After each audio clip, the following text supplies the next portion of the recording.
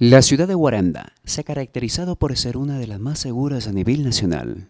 Pero en los últimos años, el índice delincuencial ha aumentado considerablemente, suscitando una serie de robos a transeúntes y locales comerciales. Guaranda antes era una ciudad casi segura, se podría decir, pero con esto de la pandemia, el desempleo, la corrupción, jóvenes están optando por salir a hacer daño, ¿no? O sea, con el nuevo gobierno esperemos que se, abran nuevas puertas de, trabajo. El hecho de que sea una ciudad segura no quiere decir que andes desprevenido, ¿no? No, nadie sabe la intención que tiene la otra persona.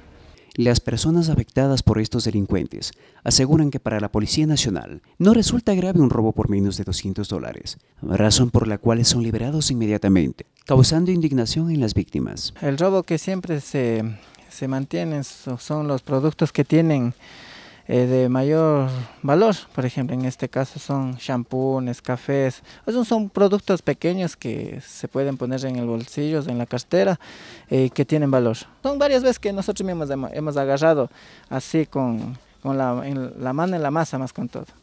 Y ahí entregamos, llamamos a la policía y la policía intervinieron y detuvieron al, al, a los delincuentes y al día siguiente mandaron soltado por lo que dijo que eh, no, no era la base que para poderle ejecutar o procesar.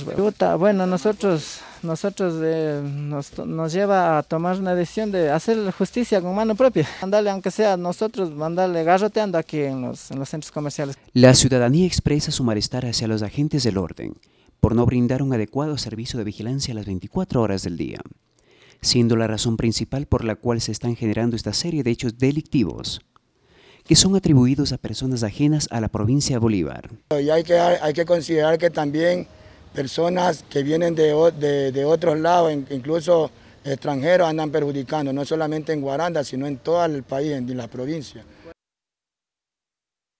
Eh, bueno, el monto de lo que se robaron asciende a los 500 dólares. Fueron dos teléfonos que se sustrajeron en el momento de yo encontrarme solo ese momento, ya que mi hermano salió el, hecho sucedió entre cuatro personas y una mujer que estaba con un niño en su brazo.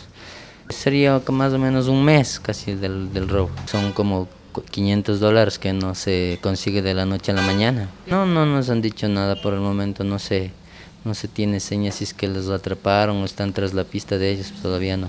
Esperamos que la Policía Nacional realice un mejor control delincuencial y así de esta manera retomar la paz y seguridad de la población guarandeña.